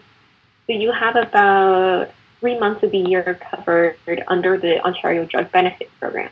So this is a great conversation to have with your pharmacist as well as um, your healthcare team just to see which one of these options is best for you, both financially and which one will do the best for your ability to quit. And then so on to the next slide. This is a beautiful chart that Winnie made up, and this is a perfect time to take a picture or a screenshot for later reference. And these are just some ideas that you can use for your basic quit plan. And it's a great way to just kind of see if maybe you haven't tried some of these um, tips and tricks to try them. So, for example, um, I like this one. So, tell your friends and family that you are quitting. It's great that you that they know they have so that you have that support, and perhaps they can find different ways to kind of distract you during that time. They'll be like, "Hey, do you want to go watch this new movie I found?" and just keep you distracted for um, that time. And so, if we move on to the next slide, like Dr. Curnew said, I, I believe it's like four to ten times the, t- the average amount of times it takes to quit. So relapsing is completely normal and typical. It's, it's totally fine. So re- the important thing is that you reach out to your support group, including your healthcare um, team, as well as the volunteers here. And it's what matters is that you don't give up, right? So one of these attempts, sooner or later, it will be the one where you quit completely. And you should never lose hope and know that it's normal, that it takes people some time to quit. And then some other resources and support for quitting smoking. We have the Smokers 24 hour helpline. There's over a hundred different languages, and they're all trained, as well as there's phone and text message support, as well as the online quit program. This is a great resource to check out. There's also Quit Now. And then if you are in Hamilton, this is a great Hamilton specific one known as Hamilton Quit Smoking. And then continued, um, there are some apps so these are things that you can easily download on your phone, such as My Quit Coach, Quit Smoking, Quit Now, and then Quit, spelled differently. and then there are also some great YouTube videos that you can check out. So Dr. Mike Evans. And then one of my personal favorite channels, ASAP Science. You make short little videos, great kind of um, cartoon characters that they cut out and draw. That gives you a ton of information. Um, and did anyone have anything else to add? Otherwise, um, we would just like to say thank you for listening. And if you would like any other support with smoking cessation or anything else about, have any questions about this, please don't hesitate to reach out. You have our email right there. And of course, you can always check out Dr. Curnew's website. Wow. I'm gonna do this nice little cartoon of Dr. Kermu there on the screen as well. I need duct tape there, do I? uh, I start off the day good, and that the day eating too much, and you know it's it's okay. Um, I'm getting there, um, and we all have our ups and downs. Like Paul, we started this uh, a, a few months ago. Who thought that we'd be spending Friday nights together? Um, uh, I have all these wonderful people. Uh, uh, you are my family, and uh, you guys did a wonderful job. But first of all, I want to thank Krishi, Emma, Winnie, and Corinne for spending this time and effort to make this happen. And so wonderful. Thank you so much. And um, I know for many people, they're sore.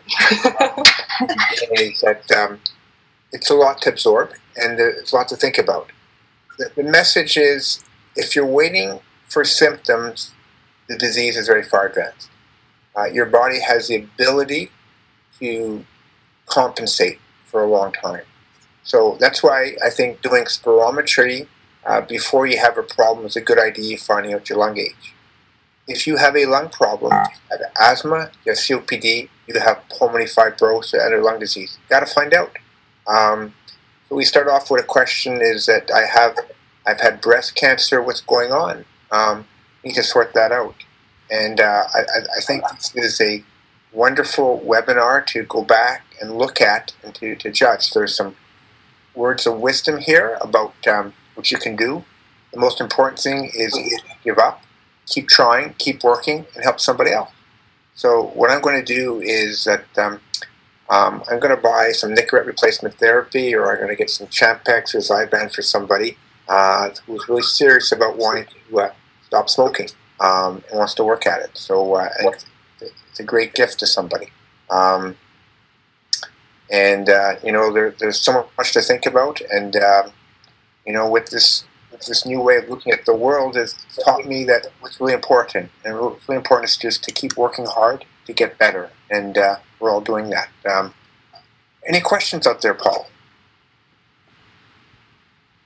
No, things seem clear. Okay.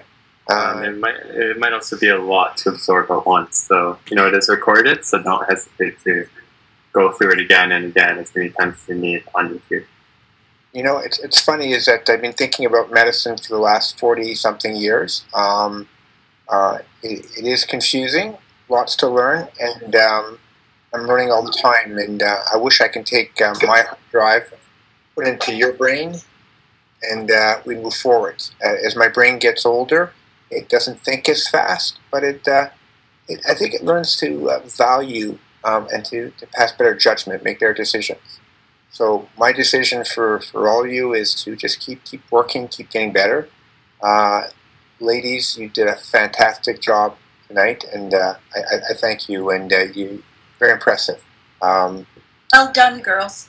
Thank you. Thank you. Well, thank you for helping out. Yeah. This was a nice team effort. Everyone was so engaged. And uh, thanks for having us. And uh, we have a lot more help to do too as well. So if you need any help, go to drcurnew at 232 gmail.com. Remember, if you have want to get together, uh, we, we're working in the clinic, we're working on the phone. Um, I always say is I'll get to you uh, within uh, a few hours. Um, is like when the repair person tells you they're going to come over, you, you have to give them a, a number of time. When you when you expect something from us, we'll, we'll, get to you. But we, we're, we're, we're going to deal with the sickest first, people first. We have emergencies, and that's okay. But uh, we value uh, your health, and uh, we value prevention. And uh, uh, Paul, you have the last word.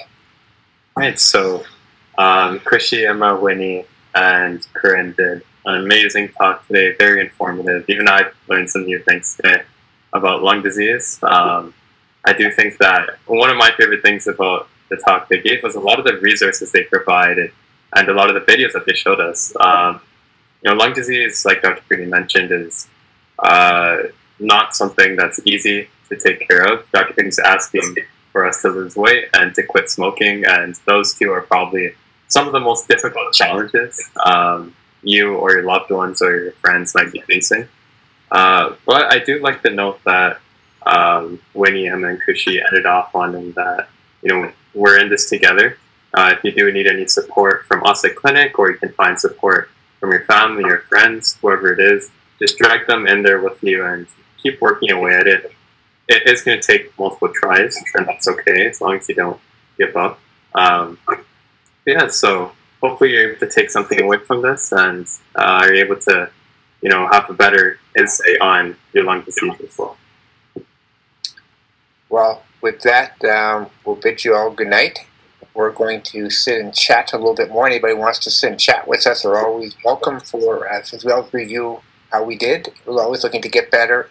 And remember, just work at things, get better, uh, make everybody else better, and uh, have a great night. And we'll, we'll see you next week. And remember, uh, if you know somebody who needs some help, reach out. If, if we can help, we'd be glad to. But uh, share these links with other people as well. The more, the merrier. Everybody's welcome. Have a have a great night, everyone. Good night, everybody. Be safe.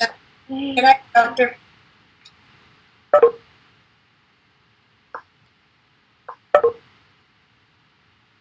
How do I stop sharing?